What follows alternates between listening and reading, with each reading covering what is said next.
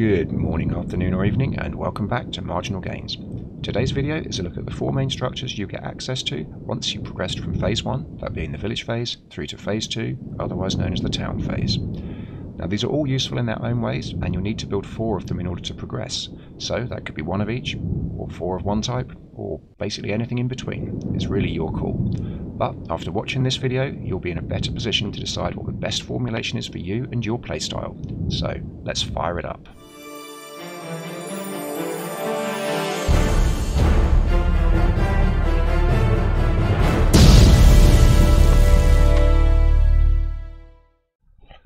So the four types of building and structure are the blacksmith, the market, the temple, and the tower. But before we look at those, I'll briefly touch on a couple of things that you'll need to bear in mind in relation to this topic. The first is that there are a few other structures available for specific factions, like the Hellenic Royal Stoa or the Gaulish Tavern, but these are covered in their respective faction overviews and also in an upcoming video about the generic faction types. So keep an eye out for those if you'd like more information, as unfortunately they're out of scope in this video. Also, you'd be quite within your rights to wonder why onward expansions and civic centres aren't covered.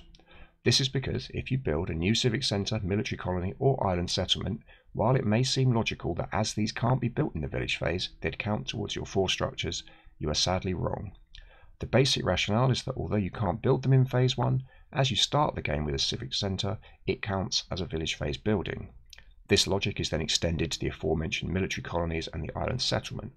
So sorry about that. I know that when I use the Ptolemies, I always make a military colony to get those sweet swordsmen in Phase 2, so I'm frustrated that it doesn't count as a Phase 2 uh, structure, but them's the breaks, I guess. So finally, just before we look at the nature of the buildings, let's remind ourselves of what resources we need in order to progress from the town phase to the city phase. And the simple answer to that is 750 each of the mineral resources, those being stone and metal. Therefore, whether the structures cost one of the mineral resources to build as well as the amount of time it takes to build them, will have an impact on how quickly you can progress to the city phase. And as we all know, that's where you're going to get access to heroes and siege weapons, and with them, a big advantage in the quest for victory. So, let's look at the details of the structures, as well as the advantages and disadvantages of each of them. The blacksmith is one of the few buildings in the game that has the same cost for all factions, 200 wood, and its role is to give access to armor and attack upgrades, now all of these upgrades cost stone, metal or both, so you're going to have to ask yourself, are you going to use these in phase 2 when you really need those resources in order to progress? And although it may seem it, this isn't actually a loaded question. You could very well want to. And in that case, you're going to give your troops a massive advantage in battle. So if you're planning a phase 2 attack, perhaps because having successfully rushed you've already built a development advantage and you want to continue a relentless attack, then getting upgrades could be more useful than progressing to phase 3 as you can pin your opponent down and restrict their options. It's certainly not inconceivable that you can win games in this manner. However, this isn't a tactic for beginners. You're going to need to know your faction, your enemy's faction, their playing style, the map, the biome, among other things, to justify this kind of attack and really make it work. So be careful. That said, the fact that the blacksmith costs only wood, and that you're going to need its upgrades badly come phase 3 in order to compete, means it's certainly not a building you should avoid building, even though it takes the joint longest of the main structures to get one up. It's more that you should consider it as an investment for the future rather than something that's going to help you to immediately in the majority of cases. So let's sum up.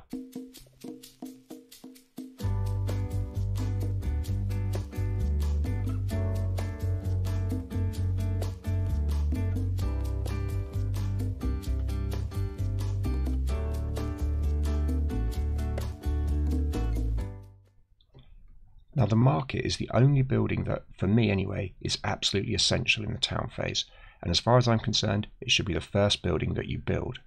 And that's because it allows you to get stone and metal without having to mine for it. You can simply trade off any excess food and wood. Now, the reason I believe this should always be the first building that you build is because if you build your market first, you're going to get the best trading prices for food and wood.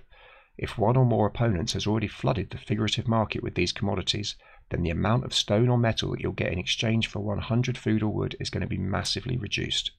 Therefore, being first doesn't just get you the best prices, it also stops your opponent from getting those prices, and that means it's not just a boon for you, but it causes problems for them. But the market's not just useful at phase two. You're going to need it during the whole game as it's essential to regulate your economy when the battle is fully underway, because at this point it's easy to get low on one or more resources and have an excess of another. It's basically one of the most important buildings in the game, and that means on the flip side, it's also the first of your enemy's buildings that you should look to destroy if you get the chance.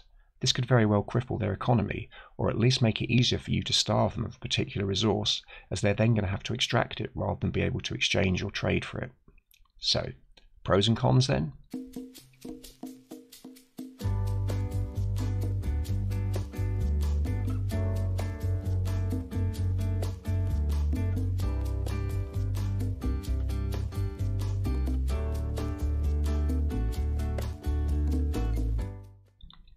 And so the temple, which is definitely a building that I'd recommend, although at this point I'm going to confess that I frequently forget to build it as soon as I should, as I'm so focused on getting my market up and running.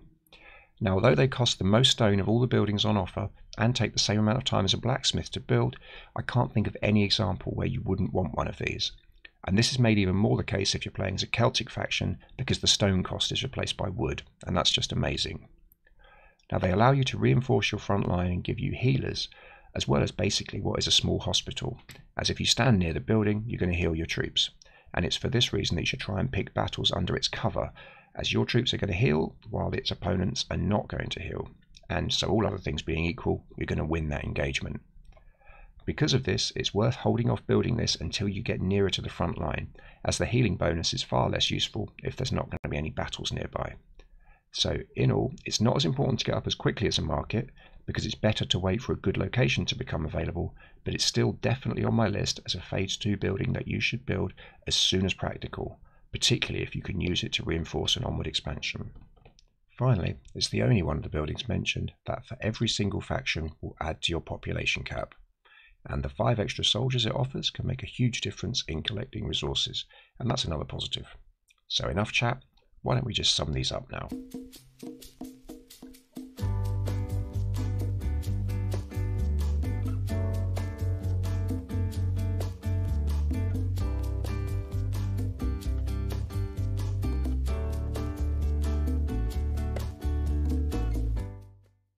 The defence tower is an excellent choice at Phase 2. These structures offer supporting fire and protection for garrison troops, and therefore can be used to help maintain onward expansions. They can also be used to offer covering fire of mineral deposits that are going to be contested at some point. That ensures that your opponent can't benefit from them and helps your workers to be the ones bringing home the wood, stone, and metal in the centre of the map. The main concern you're going to have is that they cost stone to build, and that's stone that could be used in getting you to the city phase. However, this is far outweighed by their general usefulness and the fact that they're one of the quicker structures to build, except for in the case of Iberians who have super strong towers with an extra garrison capacity. So it's surprising if a player doesn't build at least one of these during the town phase. So in summation,